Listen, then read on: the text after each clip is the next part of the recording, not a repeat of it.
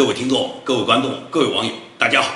今天是二零一九年十一月三号。今天的节目呢，我要谈一下川普总统和中共习近平呢，他这个第一阶段呢签约呢，川普总统呢又有了新的提议。那么在讲今天的节目之前，首先跟大家汇报一下呢，昨天在台北台大校友馆我举行的这个台湾网友见面会的情况。那么台湾网友见面会这一次见面呢，我就没有像过去一样，每次见面之后呢，把见面会现场的实况呢全部发到网上。因为昨天见面会的时间比较长，有两三个小时。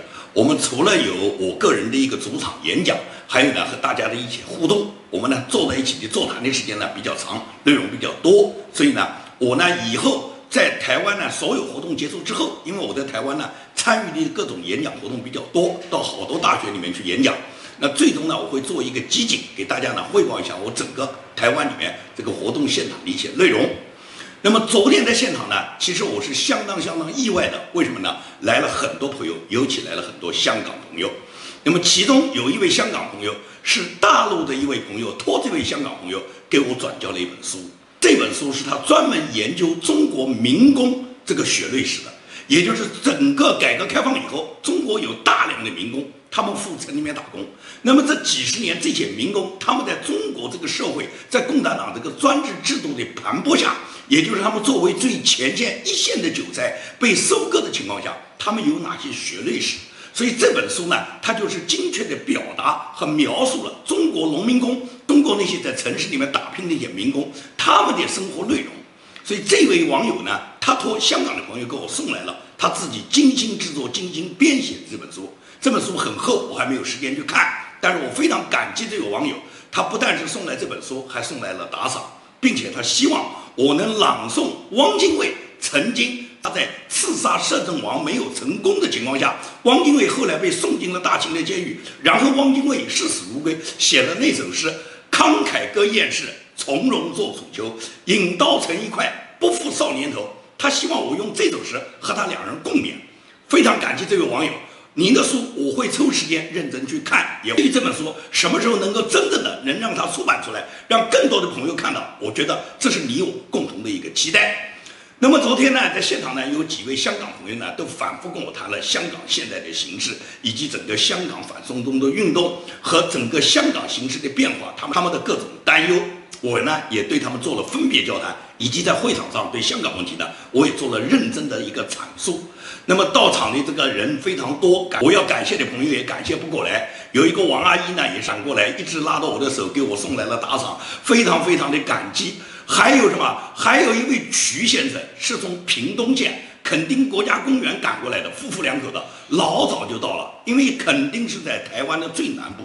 到台北的话，坐高铁要坐好几个小时。肯定这个城市我曾经去过，所以我知道这个路途是比较遥远的。但是这个徐先生夫妇两人亲自赶到现场来给我打气，我真的呢非常非常感激。还碰到呢碰到一个躺枪的我们大陆的新娘，是我南京老乡。因为我在整个这个讲话过程中呢，谈到呢中共对台湾的渗透，包括渗透里面呢，也会呢在一些大陆新娘里面呢，在他们里面呢做统战工作。所以这位我这个可爱的小老乡，他这个大陆新娘，他就跟我讲：“建明老师，我躺枪了。”我说：“躺枪没事啊，我也经常躺枪。因为这这个指的是中共在这些人群里面想做统战工作，但是你统战工作不是哪个人都做得进去的。大家也知道，中共只要是有中国人的地方，管你这个人是中国大陆来的。”还是台湾人，还是香港人，只要你能听得懂中国话，你听不懂中国话，你哪怕美国白人也行，中共都会要统战的。至于接不接受统战，那就在于你的意志，你是否愿意跟中共同流合污的问题了。所以说呢，我认为我在整个这个讲话内容中，经常会涉及到有一部分人，中共想利用这个部分里面，利用哪些人群在里面做哪些统战工作，哪些留学生啦，哪些大陆新娘啦，哪些中国派出来的学者，哪些哪些知识分子啊，或者或者哪些做经贸往来的各种这个生意人士啊，这些人中共都是统战对象。你不要因为我讲到了这个人群，你属于其中人群里面的某一个某一部分，你就开始躺枪了，这个没关系的。因为什么？中共要统战的这个区域，它是非常广泛的。至于你在这个区域里面，你是否被中共统战，那就在于你自己的坚定和意志。你如果愿意投靠中共，那中共不来统战，你也会主动向中共去投靠的。如果你有坚定的意志，中共怎么样收买你也收买不到。因为什么？你如果拥有价值观，你如果拥有能够坚守你自己心中的信念，能够希望中国走入民主自由制度，能够希望我们的国家。中国大陆也能够像未来的台湾一样获得民主自由，那我相信中共这点统战，他统战不了你。好，整个网友见面会会场的情况，我就跟大家汇报到这儿。那么谈我们今天的这个话题，我们今天的话题就是说，关于中国和美国这个中美贸易谈判第一阶段的这个谈判签约，本来呢，大家都知道是安排在智利峰会，也就在十一月十六号到十七号，在智利首都圣地亚哥。那么习近平。和川普都应该去参加 IPAC 峰会，在这个国际会议上面呢，有望呢双方把这个协议签署。但是呢，现在呢，智利呢，因为国内呢不断的抗议浪潮，不断的民众反对智利现任总统，也就是变成这个总统，他考虑到呢，他考虑他的职位更重要，考虑他所谓的他这个保住他自己现在执政的地位和他以国家安全为由，他现在就取消了这个 IPAC 峰会在智利的举行。那么 IPAC 峰会取消了。中美双方这个签约到哪里去呢？双方呢讨论了很长时间，落实了呢多个地点，包括美国曾经提出过夏威夷，提出过阿拉斯加，中方呢也提出呢想到澳门，但是这些会议地点呢基本上都被否决了。现在呢，川普新提议呢是到美国的爱荷华州，这个爱荷华州是否最终能成为中美签约的这个地点呢？目前来讲还要等待最后证实。但是川普是提议去了爱荷华州。川普为什么要提议到爱荷华州呢？爱荷华州是美国重要的农业大州，也就是按照川普讲，如果说中美协议在这个州签署以后，并且中国兑现他的签署的诺言，每年购买四百到五百亿农产品的话，爱荷华州是美国受益最大的这几个农业州里面最主要的一个州。而爱荷华州对川普有非常重要的意义，什么重要的意义？就是川普他二零一六年大选在他党内争锋的时候。他是在这个州第一个拿下了什么？拿下了他自己在共和党里面这个领先的地位，也就是他的这个整个得到爱荷华州民众对他选民的支持率啊，远远高于了希拉里。因此呢，川普呢在这个地方就脱颖而出。所以，川普对爱荷华州呢有非常非常的好感。这个放在爱荷华州来签约，对川普有极大的助选作用。那么，爱荷华州对习近平来讲，对习近平来讲同样是非常重要的一个州。因为习近平在一九八五年时候第一次率领他自己所在的中国福建省的这个里面的一个考察团，就是到爱荷华州来访问的。当时他到爱荷华州来访问时候，接待他的爱荷华州的这个州长叫布兰斯塔德。布兰斯塔德现在就是美国驻中国大使，所以说布兰斯塔德跟习近平有着几十年前当时的一个交情。也就是习近平第一次到美国，就是跟布兰斯塔德认识了。布兰斯塔德作为州长来接待他嘛。那么几十年以后，他跟习近平一直保持着友好的这个交情。这也是川普总统在就任美国总统以后第一个提议布兰斯塔德到中国驻中国大使，也是有这个考虑，因为他知道布兰斯塔德跟习近平有故交嘛。布兰斯塔德现在就一直在川普总统上任之后就被川普总统提任为美国驻中国大使。布兰斯塔德一直呢。一直在大使的职位上面在就任呢，所以爱荷华州它的这个重要性就在于什么？对川普来讲，它很重要，因为是他选民争取美国农业选民的最重要的一个州。第二个什么？对习近平很重要，因为习近平他跟美国打交道最初了解认识的就是爱荷华州，而且有布兰斯塔德作为现在美国驻中国大使在中间穿针引线。所以选择爱荷华州，毫无疑问来讲，对于川普来讲，他是非常希望，因为对他有很大助选的这个功能。那么习近平会不会帮他助选呢？昨天我在网友现场会时候，就有很多朋友问到我这么一个问题，就说是不是有一种可能，习近平他反而希望川普能够胜选，川普能够当选，能够连任？川普习近平他本意，习近平本意并不要打掉川普，有没有这个可能？我说完全有这个可能，而且这个分析就比较深层次了。从表面上看，中共都是在扶助民主党，扶助拜登，希望拜登这个人入选。拜登这个人当选对中国有没有利呢？很有利，因为拜登这个人吃相很难看，只要稍微有点钱就可以收买，就可以拉拢。而且拜登的这个儿子基本上是一个无所事事的人，中共只要给出足够的利益，拜登父子马上就倒在中共的利益面前。所以拜登登如果真的当选，对中国来讲绝对是好事，而且拜登一定是推翻了川普现在对中国所有制约的这些加关税的条件，对中国来讲，拜登肯定很好。但是你要对比一下，拜登能不能当选？拜登有没有条件当选？拜登现在面临的最大的这个竞争对手，毫无疑问是川普。除了拜登自身极端不干净之外，再一个，川普他的这个领先的优势和美国人民支持川普的优势，川普当选的可能性更大。中共是不是在川普身上就不押宝呢？也绝对会押宝，因为习近平他可以看出，川普这个人是不按套路出牌的。川普这个人完全有可能做到当年跟老布什一样，对习近平所采取的一些过分的行动，只要是不涉及到美国利益的。反而川普呢会默不作声，会支持。比方香港问题，大家可以看出，香港问题对川普就是一个测试嘛。一开始香港问题爆发了大规模的这个抗议之后，到了很长时间以后，川普去表态说香港是骚乱嘛，跟习近平讲过，只要我们中美协议签好，香港的问题我可以不吱声嘛。所以你从川普的这个表态就可以看出。如果习近平真的像他自己在中共党内夸下的海口，习近平要在他自己这个任期内去解决台湾问题，他解决台湾的问题就是武统哇，就是打哇，火力打哇。但是你要攻打台湾之前，你必须要得到川普对你的一个默许，也就是川普会表示美国不参与，美国不积极协助台湾来抗击，同时呢，美国也要装傻，也就是你中共打你的。等你中共打完了以后，美国假模假样的对中国来一个什么抗议了、制裁了，来宣布对你全球进行的一个制裁，最多像八九一样，就跟老布什一样，装模作样在六四之后来搞起一个全球的制裁，内地里面派他自己的特使不断的跟邓小平勾兑。川普很像老布什，所以说习近平他吃准了，如果他跟川普能够在很多中美其他问题上面能够满足川普的利益，很可能习近平他在动手台湾的时候。川普就会跟着装傻，川普就不会明目张胆的抵抗中共，然后中共拿下台湾以后，川普再去制裁。习近平是想走这条路的。当然，你说这条路能不能走得通？川普会不会到那个时候就装傻？川普会不会背弃美国的价值观和背弃美国所有的政商人物？美国两党对他的压力，说是对中国攻打台湾、武力占有台湾时候，能够不闻不问，能够放任中国去拿下台湾？川普能不能能？川普敢不敢这样干？川普这样干，他这个总统还能不能当？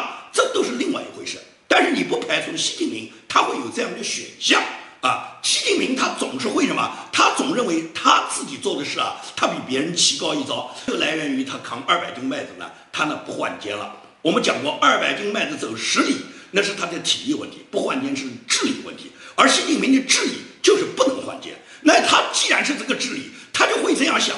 我如果能跟川普能够把利益勾兑好以后，我是不是就能做到我打台湾以后，川普装呆呢？习近平会有这样的一个预案，他是这么去想的，能不能做到？能不能做到？那就是等着习近平真这么干的时候，美国确确实实能够不出兵，那才叫能做到。我告诉你讲，习近平这叫痴心妄想。从美国现有对中国的态度，美国现有对台湾的态度，绝对不可能允许中国随随便便去武力攻占台湾，那是完全没有可能的。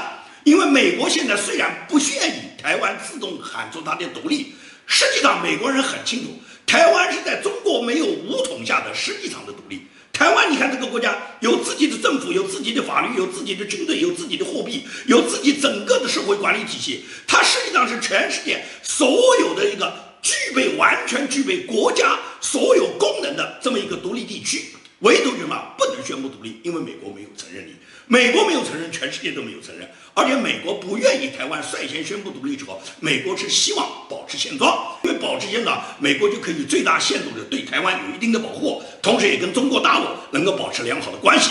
因为美国现在还没到跟中共完全翻脸的时候，如果真的是翻脸撕破脸，美国完全站在台湾一边，鼓动台湾主动宣布独立时候，那中共打呢，美国一定干涉，干涉的结果就是共产党灭亡。这条路是完全存在的，只是中美之间现在还没到脸皮撕下来的地步。习近平还认为他跟川普是很好的朋友，川普现在还沾沾自喜，到处夸赞道：“我跟习近平是很好的朋友，马上就要签第一阶段的协议。第一阶段协议签完了以后，中国和我们之间的很多重大问题都解决了。因为莱特希泽、卢姆钦和刘鹤在十一月一号，他们还再次通了电话。”商讨了整个第一阶段协议的内容，以及呢落实双方首脑签约的地点。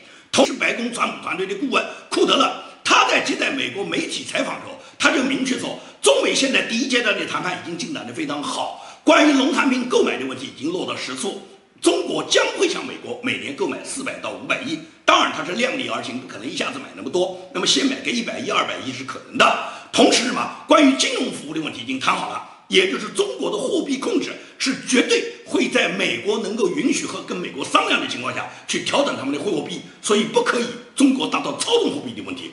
第三个第三个问题是美国工商界最关心的就是美国在华企业股份持比的这个比例。过去这个持比的比例只能百分之四十九，现在库德勒已经说已经完全谈好了，美国公司在中国可以持有百分之百的股份，也就是美国公司可以不让中国占有一分股份的情况下，美美国公司可以独立的在中国运作。所以这个问题也取得了极大的进展。因此，库德勒讲说很期待川普和习近平能够达成第一阶段的协议。库德勒的期待是有一定道理的。我们呢一直认为呢，就是美方呢，实际上他们认为中方不会签协议，或者签了协议也不会好好执行。美方呢是不应该跟中共再谈什么协议的，这只是我们的认为。美国川普也好，整个白宫的高层谈判的团队也好，他们都认为呢，他们跟中方呢实际上呢是在推进的，是可以签到协议的。所以库德勒也好，莱特希德也好，卢姆钦也好。在他们跟中方的这个交流的过程中呢，他们都是直接的能够得到中方第一手的资料，所以库德勒他才做出这样的判断。我们不要认为这总是美国，他们始终在误判。川普动不动表达他跟习近平关系多么多么好，他们这个朋友关系多么多么热烈，这个川普讲话是有他自夸的成分，但是你要知道这也一定存在。为什么？我从彭斯副总统。在彭斯副总统最近在威尔逊研究所里面所发表的这个对中国问题的谈话里面，彭斯本人也再次强调了，川普和习近平个人私交是比较好的，他们俩人是有比较好的私交的。你一定要看到，川普和习近平都认为他们这个私交呢是可以解决很多外人看来是难以解决的问题，他们会达成某些默契。所以说，习近平就更这样认为，我跟川普私交很好了。我跟川普有这种私交，那么就至少是可以，就是什么？我想要完成的，比方说武统台湾的这件事，到时候川普在我满足他各种利益的情况下，川普可以装傻的。你比方说关税的问题，关税的问题，中共他经常是这边谈完了，那边呢就冒出他的那种腔调，就是美国必须要取消全部关税啊！美国如果不取消全部关税的情况下，我们是没办法达成协议的。中共经常讲这个话的。但是他们在谈判桌上面，他们从来没讲过，你今天如果是不把全部关税都取消，我们今天谈判就别谈了。中共从来没这样讲过，谈判是照谈的，但是谈过之后，威胁要美国取消全部关税。但是库德勒也好，莱特希泽也讲过，所有的对中国加征的关税至少有两千五百亿产品的这个关税，这个放在这儿是不会随随便便对中国取消的。也就是什么？它是一个长期对中国它能否这个兑现协议的制约的一个手段。也就是说，你中方你光签协议，你兑不兑现啊？那么也就是说，你兑现不兑现，我我们都有两千五百亿的关税加在那儿，加在那。第一个是制约你，第二个也就是说，双方经常可以通过两千五百亿，可以有一个讨价还价，把中方把逼到谈判桌上来的一个手段嘛。所以说。关税会有一个长期存在，只不过呢，这个存在的这个关税呢，它第一个额度呢，它会放在两千五百亿左右，因为大家都知道，中美之间双方每年的这个贸易额在五千到六千亿，那么两千五百亿呢，也就是不到百分之五十，也也就是有不到百分之五十左右的这个关税呢，美国希望呢是长期存在的，这个存在是作为对中方的一种制约手段。那么其他数额的关税呢，会随着中美之间的谈判呢，川普呢会把部分呢递减，甚至呢有一些呢取消，这个都是完全可能。中美双方只要把这个谈得好，都是有这个可能去做的。那么习近平他现在对于他来讲，他认为中美问题呢，现在已经通过第一阶段的谈判，已经取得一定的进展。这个进展呢，就让习近平呢在中美问题上已经喘过一口气。尤其是在四中全会之前，了刘鹤到华盛顿的谈判回来以后，大家有第一阶段的协议。那么四中全会呢，习近平是交得出答卷的。大家可以看到，四中全会根本就不是坊间所讲的什么习近平有多大的压力了，独裁制搞不下去了，这个接班人必须更换了，这些东西都没有发生。也就是习近平他仍然是顽固的维护着他自己。一党专政的统治，维护他他自己个人定于一尊，以及在党内推行终身制的这个体制没有改变。习近平整个四中全会里面反复强调的，他一共强调了五十五个坚持啊，这些什么坚持党的领导，坚持公有制，坚持社会主义制度牢牢的不动摇。实际上，习近平在四中全会上提出的这些所有坚持，他都是侧面的回答了跟美国之间的谈判。美国要求中国的这个制度性改革，在中国根本就不可能。也就是按照习近平自己讲的，不能改的、不该改的，坚决不改。也就是美国，你希望中国的制度性改革里面，其中有一条就是不能有给国有企业补贴吧？习近平告诉他，要大力的发展中国的国有制企业。大力发展怎么发展？就是国家大力的补助、大力的扶持哇。所以说这一条跟中美谈归谈，但中国不会做的。所以说关于公有制企业的问题。第二个，坚持社会主义制度。美国要求你制度性改变，也就是希望中国能走入商品经济制度。所谓商品经济制度，我们从中共宣传里面是谈商品经济，实际上他们是用商品经济代替了资本主义经济这几个字。商品经济就是资本主义经济。中国现在要走社会主义制度，它就是排斥这个资本主义制度，排斥商品经济，大力保留中国公有制，坚持走社会主义道路，实际上就是排斥商品经济，排排斥资本主义。那么也就是，川普要改造的、要进行的中中美制度谈判里面，关于商品制度谈判这一条根本就无从落实的。也就是说，中美之间谈判在核心问题上面，按照习近平讲的，不能改，不能改的，不该改的，我们坚决不改。哎，也就习近平根本没有改的想法，并且你还观察到四中全会的公报里面，其中有什么？其中有继续要大力推行构建人类命运共同体。这个构建人类命运共同体就是二零二五“一带一路”啊，“一带一路”的手段，二零二五的目标，然后构建一个全球人类命运共同体。习近平用区块链、用数字货币的方法，在全球支起他共产主义的大网，最终习近平称霸世界。不就是共产党的这个理论吗？和共产党的主张吗？也就是习近平坚定要维护、要走的这条道路嘛。他这个道路恰好跟美国中美谈判是完全背道而驰的。也就是说，四中全会的公报里面，他实际上就告诉了中美谈判里面有关中国制度性改革的东西，中共全部是按照习近平的口气，就是不能改的、不该改的，坚决不改。也就是说，中美谈判实际上第一阶段最终落实的就是一些最基础的东西。也就是开放中国扩大一部分市场，比方说，就像库德勒讲的，金融市场开放了，美国一些金融产品、保险产品可以进入中国大陆了，对美国在中国持股比例的这个股份限制取消了，也就是你美国企业你到中国你可以百分之百持股，这是第二点，放开了。第三点就是什么？我们会购买一些农产品，购买农产品我多次说过，是中国本身国民经济生产发展的需要。中国是一个吃猪肉的大国，中国现在自己的猪肉产不上来，中国现在已经大量的被非洲瘟猪已经污染了中国的养猪业，加上俄罗斯拉过来的这些猪，除了价格高，另外大量的都是瘟猪肉，所以在这种情况下，中国本身作为一个生产、消费和尤其是吃猪肉、消费猪肉的大国，目前来讲，猪肉是严重的供给不足。那这种供给不足的情况下，美国的猪肉又便宜又好。跟美国买一点猪肉有什么不可能？你看中国人民动不动爱国，动不动抵制美国货，但是真正如果猪肉来说，猪肉便宜的、廉价的，你看中国是什么状态？Costco 上海 Costco 他组织了一批这个美国来的猪肉，就卖十块钱一斤啊！中国的老百姓把人家柜台玻璃都快挤破了。那时候跟你什么爱国不爱国？十块钱一斤的猪肉最实惠，美国来的猪肉又健康又营养又新鲜，十块钱又便宜，凭什么不买啊？所以人家不得不限购啊，每张会员卡只能买二斤哇，就是这样这个道理哇。所以说这个时候你用那种空洞的爱国口号和现实的猪肉比，老百姓是抢猪肉的，因此。中共跟美国买一点农产品，买点猪肉，这是很现实的问题，它不是什么政治利益问题，而中国本身就有这个需要，因此能够达成这个第一阶段协议的，基本上就这几个范围：关于中国市场对美国更多的开放，关于美国在中国持股的比例的增加，关于美国的农产品对中国的购买及中国控制一定的汇率。因为汇率往往跟中美贸易利益有关嘛，如果中美贸易能够稳定的话，那么中共也会把汇率稳定在一个相应合理的水平嘛。所以说，操纵货币这个问题，完全是跟中美之间本身之间的经贸关系有密切相连的。因此，四中全会之后的公报，实际上你可以看出，能够改革的大部分在商品经济、在经济范围、在在市场有效供给的这个范围，而涉及到共产党制度根本的，涉及到国家公有制的，涉及到习近平要建什么人类命运共同体的，一样也不会改的。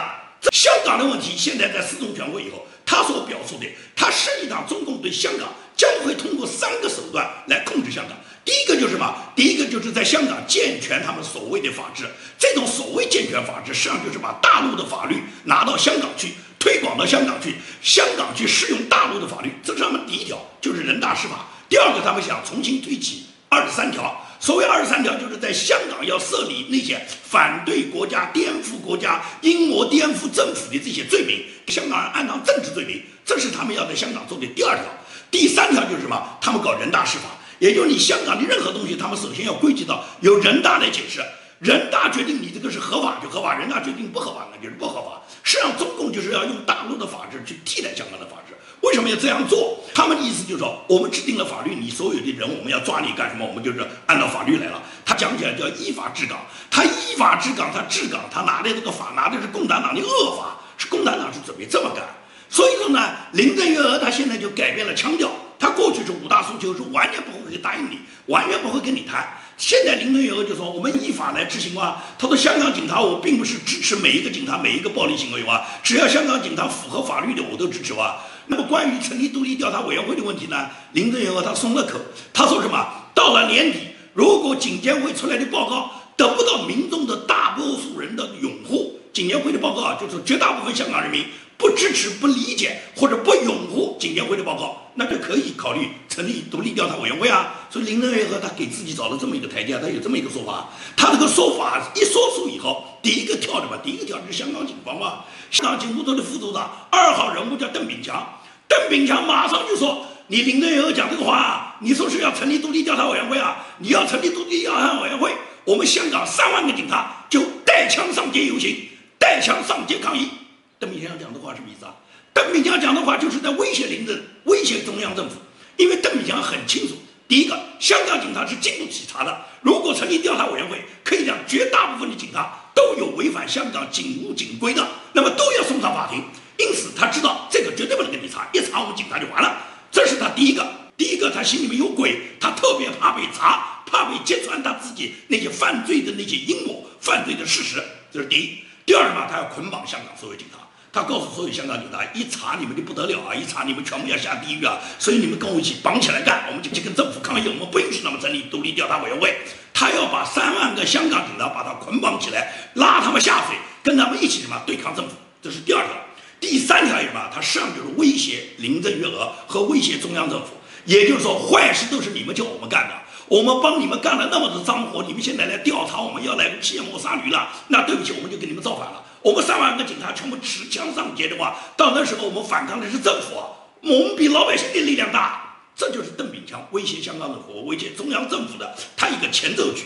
所以说，共产党你到了香港没那么简单，不是香港警察，不是你大陆的警察，你可以把这警察叫他们干什么坏事都可以干，干完了以后卸磨杀驴，把他们往监狱里面送，甚至把他们枪毙掉。香港警察比中国大陆警察有头脑，他们首先会自保啊，他知道到这时候要成立独立调查委员会，就是要清算他们了，所以他们带枪上街，直接抗议你政府啊，他不是抗议香港市民啊，那加上香港市民肯定也支持警察抗议政府的这个行为，那他香港政府就等着崩溃哇，还是说你中共，你正规军过来，你跟香港火拼？跟香港警察打起来，那最好了。如果香港警察跟中共的正规军、跟驻港部队打起来了，那香港人民就解放了。所以说，香港如果真走入成立独立调查委员会，调查警察的司法黑暗，实际上是揭开香港所有黑暗，能够使这个香港时代革命光复香港的这个掀开崭新的一页。也就是说，要么香港警察倒向人民，要么中共是卸磨杀驴，杀掉了香港所有这些恶警。这样的话，变成什么？这样，中共就会失去在香港所有人的人心，包括曾经帮助中共为虎作伥的警察，也都跟中共反水了。中共在香港是一定没有任何办法再统治下去了，唯一的方法就是坦克这个机关枪了。但是我告诉你讲，中共的坦克这机关枪是肯定开不到香港街头，因为中共现在他没这个胆再继续从事他三十年前八九天安门广场那个血腥罪恶了。因为今天的人民已经绝对不是三十年前北京的那些市民可以任他们宰割的市民了。今天的节目就做到这里，谢谢大家。